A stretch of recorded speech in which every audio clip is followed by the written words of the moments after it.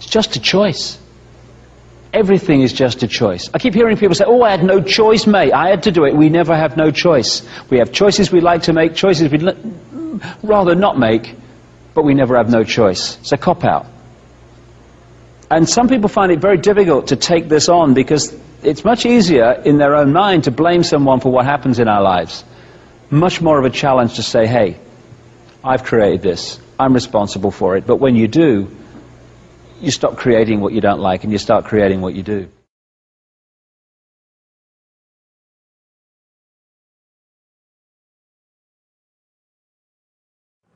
The social order as we know it is created out of ideas, either directly or as a systemic consequence. In other words, somebody somewhere did something which generated a group interest. Once a given set of ideas are entrusted by a large enough group of people, it becomes an institution. And once that institution is made dominant while existing for a certain period of time, that institution can then be considered an establishment. Institutional establishments are simply social traditions given the illusion of permanence. In turn, the more established they become, the more cultural influence they tend to have on us, including our values and hence our identities and perspectives. While there is always a debate about genetics and environmental influence, it's very easy to understand in the context of values. Every intellectual concept which each one of us finds merit with is the result of a cultural information influence. The environment is a self-perpetuating programming process, and just like designing a software program for your computer, each human being is advertently and inadvertently programmed into their worldview. Every word you know has been taught to you one way or another, and thus every concept and belief you have is a result of this same influence. Jacques Fresco once asked me, How much of you is you? The answer, of course, is kind of a paradox. For either nothing is me, or everything is me when it comes to the information I understand and act upon. Information is a serial process, meaning the only way that a human being can come up with any idea is through taking in dependent information that allows that idea to be realized. We all must try to understand what is happening. We need to try to understand what is happening. And in my humble opinion, Ideology is only going to get in your way. Nobody understands what is happening. Not Buddhists, not Christians, not government scientists, not, you know, no one understands what is happening. So forget ideologies. They betray, they limit, they lead astray. Just deal with the raw data and trust yourself. Nobody is smarter than you are. And what if they are? What good is their understanding doing you? People who walk around saying, well, I don't understand quantum physics, but somewhere somebody understands it. That's not a very helpful attitude toward preserving the insights of quantum physics. Inform yourself. What does inform yourself mean? It means A, transcend and mistrust ideology. Go for direct experience. What do you think when you face the waterfall? What do you think when you have sex? What do you think when you take psilocybin? Everything else is unconfirmable rumor, useless, probably lies. So liberate yourself from the illusion of culture. Take responsibility for what you think and what you do. Now, folks, I just want you to keep an open mind. You know, I'm not asking you to believe this. I'm sharing information with you. And if you choose not to believe it, hey, that's fine. I ask you to exercise your free will. You can absolutely leave. I will not be offended. i I've already checked. None of these chairs have seat belts. We're literally going to create our own demise because we're buying into belief systems that say we ourselves are not mature enough or grown up enough to take care of our own selves. So we need somebody to come in here and take care of us. And I'm not here to offend anybody, but really think about it. Really think about you know, what we've done and, and what our history has been. You know, we've been to this place so many times before, and we still haven't gotten it right. And we're still not going to get it right unless we do it as a race and just cut out all the crap. And right now, we have an opportunity. There is a window of time for us to break free, and we have to wake up. Period. I find conditions as they are unacceptable and I find no threat in social change. And people have to lose confidence in their elected leaders. We have to assume responsibility. If not, I fear the consequences. So what is the matter with us? Why are we so perverse? What is it that drives the inertia of these dominator systems? Shouldn't we consider in every nation major changes in the traditional ways of doing things, a fundamental restructuring of economic, political, social, and religious institutions.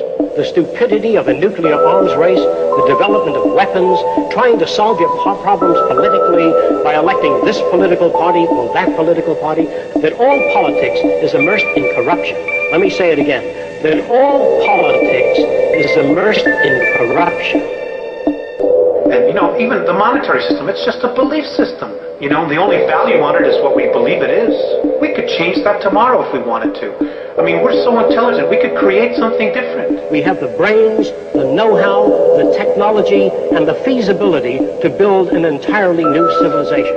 And it doesn't make any sense. Why are we so patient when our world, our children's world, the world of all future life on earth hangs in the balance.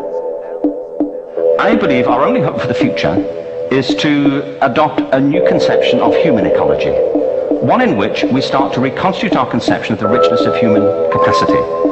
Our education system has mined our minds in the way that we strip mine the earth for a particular commodity. And for the future, it won't serve us. We have to rethink the fundamental principles on which we're educating our children. Create a real future where our kids will have an opportunity to be whatever they want, to live in an environment that's, that's, that's clean, that's free, where they can have water to drink. And our task is to educate their whole being so they can face this future. By the way, we may not see this future, but they will. And our job is to help them make something of it as long as we uh, accept the temporary solution, the problem will go unsolved. It'll be solved for you and me right now, but not for our children. There are no Negro problems, or Polish problems, or Jewish problems, or Greek problems, or women's problems. They're human, human problem, not an American problem or a Negro problem. And as a human problem or a world problem, we feel that it should be taken out of the jurisdiction of the United States government and the United States courts. And that's it. Gonna, we need to stand up as a race exercise our free will and say, you know what, we don't want to live this way anymore. And this is what has to be done on a societal scale. And it is not as difficult as, as we may wish to be assured by the establishment. We talk about civilization as though it's a static state. And there are no civilized people yet. It's a process that's constantly going on. We're not civilized. It's an ongoing process. As long as you have war, police, prisons, crime, you're in the early stages of civilization, what they call civilization.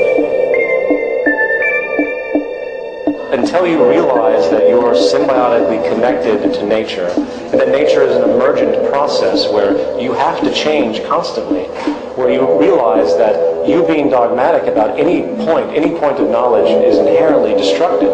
Once you realize that, you can begin to see a different world where there's ego and bias, all these things begin to fade because there's no such thing as static knowledge or information.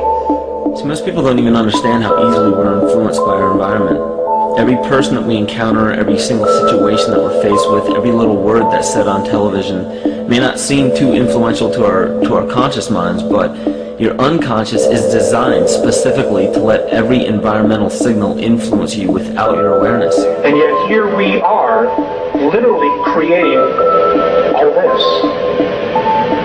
That's how powerful we are. That's how powerful our minds are. which is why there's been so much focus on brainwashing, on trying to make us victims or believe that we're victims. Because the minute we wake up and we take a step back, detached, and see our situation for what it really is, they've lost control. It ends there the minute we awake. We believe that our problem is one not a violation of civil rights, but a violation of human rights. Not only are we denied the right to be a citizen in the United States, we're denied the right to be a human being. The time is really coming when people are going to have to stand up and be counted. I think humanity is now in a what I call a final exam as to whether we qualify to stay here. And I'm not talking about uh, political leaders. I'm not talking about uh, religious leaders. I'm talking about humanity. This is the most serious business that we could be about. This is what we were born to do. And I, for one, am not ready to stand mute witness to that kind of an atrocity. We're going to do this thing just as the automobile phased out the stagecoach, just as television stepped in and phased out the old vaudeville and the old motion pictures, that history and technology is respecters of no society, no individual opinions, but it moves on. And we've got to be prepared to face the future. And so it's possible to figure things out. We can do science, and with it, we can improve our lives. Application of the methods of science, not scientists, the methods of science to the social system. Naturally, even the methods of science undergo change. And as they change, so would the future. Now, science has means of giving food, clothes, and shelter practically to everybody. Hmm? So the point here is tremendously perverse misdirection of resources, a tremendous patience with institutions that have proven that they are either ineffective or actually the enemy. So it comes back to people taking personal responsibility for what they think, what they want to believe, and what it is that they want to create. So what is needed is uh, an awakening. A transformation of the mind. And we are the generations, strange as it may seem when you survey the world today, we are the generations I passionately believe who are going to love the world into the paradise it really should be and was always designed to be. Changing the world is not something in the future anymore, oh, or hoping to be better for the kids. It's here and now. A new consciousness is developing which sees the earth as a single organism and recognizes that an organism at war with itself is doomed. We are one planet.